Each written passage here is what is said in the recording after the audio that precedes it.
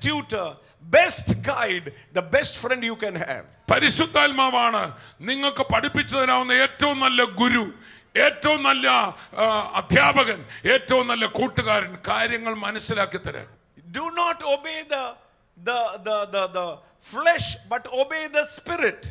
ജഡത്തെയല്ല ആത്മാവിനെ അനുസരിക്കുക Spirit always will attest you the word of God.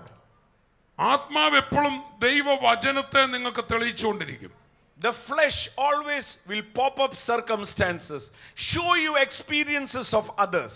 ജഡം എപ്പോഴും ചുറ്റും നടന്ന സാഹചര്യങ്ങളും മറ്റുള്ളവർക്കുണ്ടായ അനുഭവങ്ങളും എടുത്തു കാട്ടിക്കൊണ്ടിരിക്കും He won't show you the failure of a non believer, he will show you failed believers.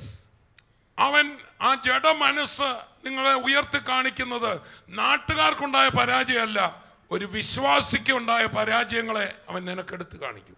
No ഇല്ല.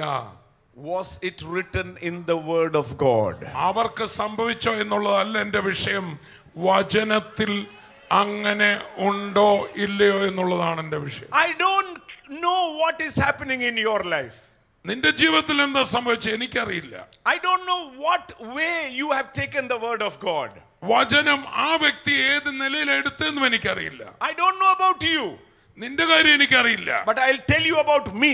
എന്നാൽ എന്റെ കാര്യം പറയാം For me, എന്നെ സംബന്ധിച്ച് every word എല്ലാ വാചനങ്ങളും is yes and amen. അത് ഊ എന്നും ആമേൻ എന്നുമാണ് What God says no is no for me. ദൈവം നോ എന്ന് പറഞ്ഞാൽ എനിക്കും അത് no If God says yes, it is amen for me. ദൈവം ഒരു കാര്യത്തിൽ യെസ് എന്ന് പറഞ്ഞാൽ എനിക്കത് ആമേന് And He has said He will prosper me. അവൻ പറഞ്ഞെങ്കിൽ അവൻ എന്നെ സമർത്ഥനാക്കും He said, I will succeed in whatever I do.